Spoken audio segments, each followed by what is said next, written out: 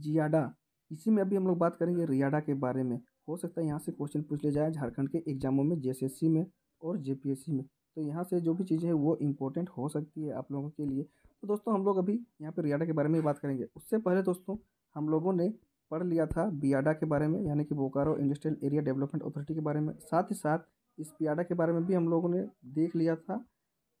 Santhal Pargana industrial area development authority उसी के साथ साथ हम लोग ने आइडा के बारे में भी देख लिया था, यानी कि Adityapur industrial area development authority के बारे में। उम्मीद करता हूँ कि आप लोग ये तीनों चीज़ों को देख लिए हैं। और जियाडा क्या है, वो भी मैंने आप लोगों को बता ही दिया था। तो चलिए, अब हम लोग बात करते हैं यहाँ पर रियाडा के बारे में। तो यहाँ पर कौन कौन सी सी चीज़ें हैं जो इम्पोर्टेंट हो सकती है। तो चलिए, हम लोग इसको देखते हैं। तो जियाडा जिसका जो फुल फॉर्म है वो Jharkhand industrial area development authority है, जो कि मैंने आप लोगों को बता ही दिया है। तो बात करते हैं यहाँ पे रियाडा के बारे में, जिसका फुल फॉर्म जो होता है वो होता है Ranchi industrial area development authority. तो यह इसका फुल फॉर्म है तो फुल फॉर्म को भी आप लोग ध्यान रखेंगे। तो Ranchi industrial area development authority है इसका फुल फॉर्म रियाडा का फुल फॉर्म अब बात करते हैं इसका जो है हेडक्वार्टर कहाँ है, यानी कि मुख्यालय कहाँ है तो वह है रियाडा भवन लोवाडी नामकुम इंडस्ट्रियल एरिया, रांची। तो यह रियाडा भवन लोवाडी में है, जो कि नामकुम इंडस्ट्रियल एरिया रांची में पड़ता है। तो यह इसका मुख्यालय है, कार्यालय। तो ये आप लोग ध्यान रखेंगे, Ranchi industrial area development authority का मुख्यालय और हेडक्वार्टर। अब इसका इस्टेब्लिशमेंट कब हुआ था, उसको देखते हैं। तो यह हुआ था 1973 में। तो ये भी आप लोग याद रखेंगे, ये वेरी वेरी इंपॉर्टेंट है। 1973 उन्नीस में इसका स्थापना हुआ था, यानी कि रियाडा का स्थापना हुआ था। तो ये आप लोग याद रखेंगे। रियाडा, झारखंड के उत्तरी छोटानागपुर प्रमंडल, दक्षिणी छोटानागपुर प्रमंडल और पलामू प्रमंडल के कुछ जिलों में कार्यरत है। तो दोस्तों, ये जो है तीन प्रमंडल में आप लोग देख रहे हैं, उत्तरी छोटानागपुर प्रमंडल, दक्षिणी छोटानागपुर प्रमंडल और पलामू प्रमंडल। तो ये जो है तीन प्रमंडल के कुछ जिलों में कार्यरत है। यहाँ पे ये विकास का काम करती है। तो आप लोग इसको भी ध्यान रखेंगे। तो अब देखते हैं एक एक करके इन जो है प्रमंडलों में कौन कौन से ज़िले हैं। तो यहाँ पर देखिए, सबसे पहले बात करते हैं पलामू प्रमंडल में। तो पलामू प्रमंडल के कौन कौन से ज़िले हैं जहाँ पर यह है? तो ये है पलामू प्रमंडल का सबसे पहले बात करते हैं पलामू जिला में। तो पलामू जिला में है डाल्टनगंज इंडस्ट्रियल एरिया, जो कि डाल्टनगंज में है, डाल्टनगंज इंडस्ट्रियल एरिया पलामू में है। साथ साथ गढ़वा की बात करते हैं तो गढ़वा में है बेलचंपा इंडस्ट्रियल एरिया। ये गढ़वा में है तो बेलचंपा इंडस्ट्रियल एरिया और डाल्टनगंज इंडस्ट्रियल एरिया, यह पलामू प्रमंडल के अंतर्गत Ranchi industrial area development authority काम करती है। तो ये दोनों नामों को आप लोग ध्यान रखेंगे। अब बात करते हैं उत्तरी छोटानागपुर परमंडल में कौन कौन से ज़िले हैं और कौन कौन सी जगह हैं। तो उत्तरी छोटानागपुर प्रमंडल, जो कि इसका जो हेडक्वार्टर होता है वो होता है हजारीबाग होता है, ये भी आप लोगों को ध्यान रखेंगे। और पलामू प्रमंडल का जो है हेडक्वार्टर होता है, वो होता है मेदिनी नगर, जिसको हम लोग डाल्टनगंज के नाम से जानते थे, अभी इसका नाम हो गया है मेदिनी नगर तो ये भी आप लोग याद रखेंगे। तो अब देखते हैं उत्तरी छोटानागपुर प्रमंडल में कौन कौन सी जगह हैं, जहाँ पर याडा काम करता है। तो बात करते हैं पहले कोडरमा ज़िले में। तो कोडरमा जिला में है, Jhumri Telaiya industrial area state Koderma में यह तो है झुमरी तिलैया इंडस्ट्रियल स्टेट कोडरमा में। रियाड़ा काम करता है। देखते हैं आगे, रामगढ़ ज़िले में अब। तो रामगढ़ ज़िले में है, रामगढ़ इंडस्ट्रियल एरिया रामगढ़ तो रामगढ़ इंडस्ट्रियल एरिया में काम करता है यह रियाडा, जो कि उत्तरी छोटानागपुर प्रमंडल में आता है। अब देखते हैं इसी में एक और ज़िला है, हजारीबाग ज़िला। तो हजारीबाग ज़िला में कौन कौन सी जगह है? यहाँ पर थोड़ा ज़्यादा जगह जगह है, आप लोग ध्यान रखेंगे। तो पहला है हजारीबाग इंडस्ट्रियल एरिया में यह काम करता है। साथ ही साथ बरही इंडस्ट्रियल एरिया में सिकनी, हजारीबाग इंडस्ट्रियल एरिया और बभानी, हजारीबाग इंडस्ट्रियल एरिया। तो ये आप लोग देख रहे हैं। इन जगहों पर यह काम करते हैं। उत्तरी छोटानागपुर परमंडल में Hazaribagh industrial area, Barhi industrial area, Sikni, Hazaribagh industrial area और बभानी, हजारीबाग इंडस्ट्रियल एरिया। तो ये हजारीबाग ज़िले के अंतर्गत में है। तो यहाँ टोटल तीन जिलों में काम करता है। ये भी आप लोग ध्यान रखेंगे। और पलामू प्रमंडल के अंतर्गत में, दो जिलों में, दो डिस्ट्रिक्ट हैं, वहाँ पे ये काम करता है। ये भी आप लोग याद रखेंगे और उत्तरी छोटानागपुर प्रमंडल में तीन जिलों पे, ये भी आप लोग ध्यान रखेंगे।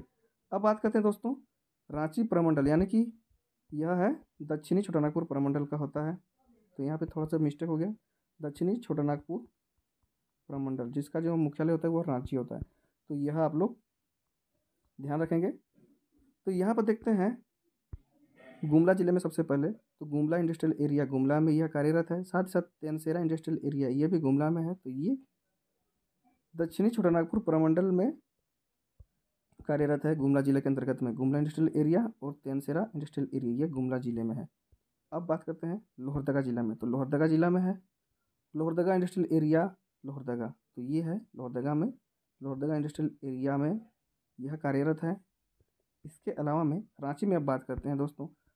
जो कि बहुत ज़्यादा है यहाँ पे, राजधानी भी है तो यहाँ पे तो विकास होना ही चाहिए। तो विकास के लिए यहाँ पे रियाडा की ओर से बहुत ज़्यादा यहाँ पे चीज़ें चलाई जा रही हैं। तो देखते हैं सबसे पहले तो कोकर इंडस्ट्रियल एरिया कोकर रांची में है यह।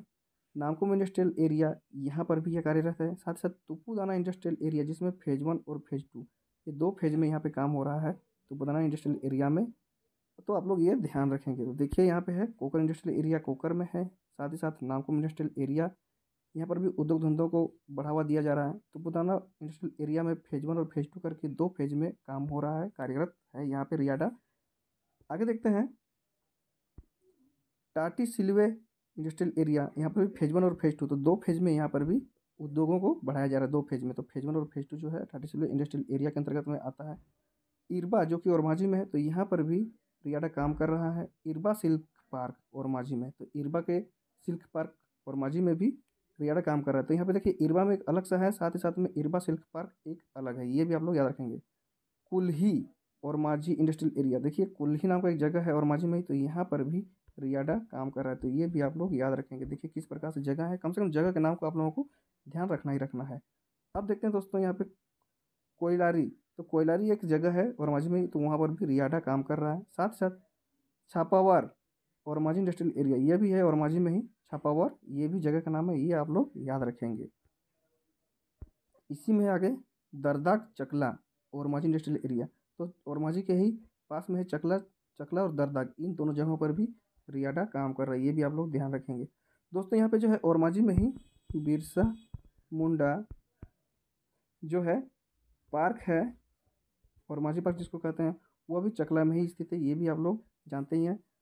उम्मीद करता हूँ कि बहुत सारे लोगों को यह याद होगा ही। तो चकला में ही है, बिरसा मुंडा, जैविक उद्यान और माझी में। तो ये दरदाग चकला में भी रियाडा काम कर रहा है। साथ ही साथ में होटवार में जो है रांची, यहाँ पर भी काम हो रहा है रियाडा की तरफ़ से।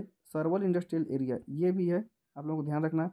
गेतलसूद इंडस्ट्रियल एरिया, गेतलसूद के पास में गेतलसूद डैम भी है तो यहाँ पर भी इंडस्ट्रियल एरिया है, वहाँ से भी रियाडा अपना काम को कर रहा है। तो ये भी आप लोग थोड़ा सा याद रखेंगे, ध्यान देंगे। इसके अलावा में है शहर तो ये नगरी में। रांची के नगरी में ही एक जगह है शहर तो यहाँ पर भी है नगरी इंडस्ट्रियल एरिया जो है, वहाँ पर भी रियाडा काम कर रहा है। बरहे, चान्हो इंडस्ट्रियल एरिया तो बरहे जो कि है, चान्हो में ही है, बरहे नाम का जगह, यहाँ पर भी इंडस्ट्रियल एरिया के रूप में यहाँ काम हो रहा है। साथ साथ चकमे, बुरमू तो ये बुरमू जिला है, जो जो बुरमू प्रखंड है, चकमे जगह पर इंडस्ट्रियल एरिया है, यहाँ पर भी रियाडा की ओर से काम हो रहा है तो ये भी आप लोग याद रखेंगे।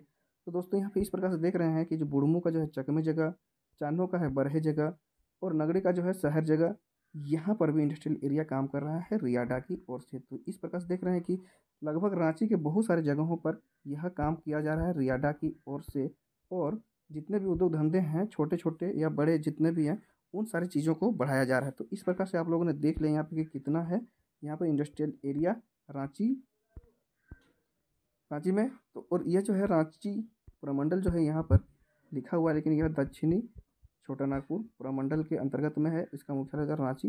तो इस प्रकार से आप लोगों ने यहाँ पे देख लिया, गुमला जिला, लोहरदगा जिला और रांची ज़िले में टोटल तीन जिलों में रियाडा काम कर रहा है। तो इस प्रकार से आप लोगों ने देख लिया, रियाडा कौन कौन सी जगहों पर काम कर रहा है, इसका मुख्यालय कहाँ है, इसका फुल फॉर्म क्या है, ये आप लोगों को मैंने बता ही दिया। और इसका जो है इस्टेब्लिशमेंट यानी कि 1973 में इसका स्थापना किया गया था, ये इंपॉर्टेंट है। तो आप लोग जानकारी को ध्यान रखेंगे।